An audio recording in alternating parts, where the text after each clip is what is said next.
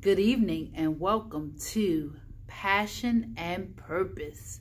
Today is Monday, December the 23rd, 2019, and it is another beautiful day that the Lord has brought us through.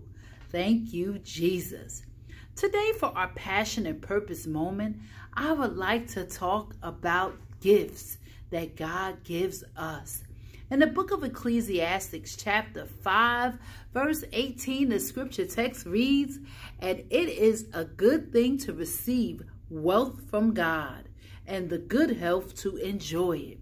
So the message in that is, is to enjoy your work, the work that God gives you. Accept what God gives you because it is a deed and a gift from God. So when God gives you a thing to do, when God gives you a passion to do, when God gives you the ability to do amazing things, accept it and know that it is a blessing from God. God uniquely gives us because we are fearfully and wonderfully made.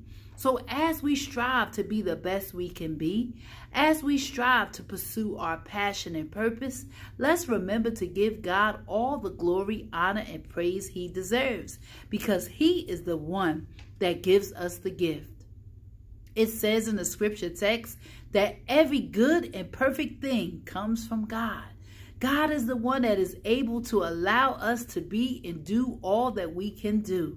So let's just reverence him. Let's just put him first. Let's seek him first and know that all the other things will be added unto us. So as I leave you for our passion and purpose moment, remain blessed, remain resilient, keep walking and talking with the Lord and embrace the journey. God bless you.